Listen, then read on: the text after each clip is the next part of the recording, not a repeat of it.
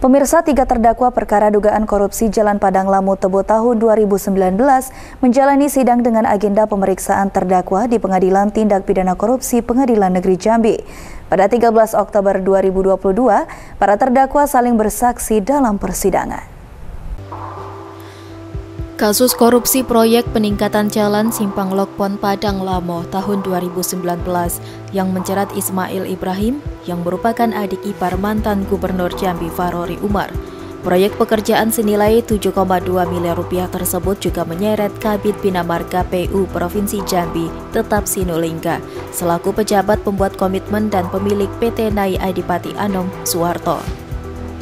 Dalam sidang dengan agenda saling bersaksi sekaligus pemeriksaan terdakwa tersebut, Suwarto menerangkan dirinya menyiapkan seluruh dokumen keperluan proyek, mulai persiapan lelang hingga pada tahap pencairan uang muka.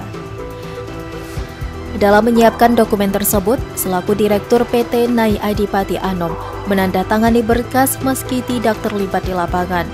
Pada proyek tersebut, terdakwa Ismail tidak hanya dukungan alat berat, Menurut Suwarto, terdakwa Ismail yang melaksanakan seluruh pekerjaan dengan memerintahkan stafnya.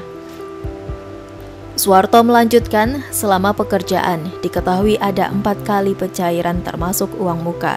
Semua pencairan uang muka dan termin diserahkan kepada Haji Ismail dengan total pencairan sekitar 5,7 miliar rupiah setelah dipotong pajak dan seutuhnya dikirimkan kepada Ismail melalui staf Ismail. Untuk diketahui, dari hasil penyelidikan, kerugian negara atas kasus proyek peningkatan jalan Padang Lamo yang bersumber dari dana APBD Provinsi Jambi tahun anggaran 2019 silam itu mencapai 965,7 juta lebih. Nilai tersebut didapat dari hasil audit perhitungan kerugian negara oleh BPKP Perwakilan Provinsi Jambi. Iqbal, Cek TV, melaporkan.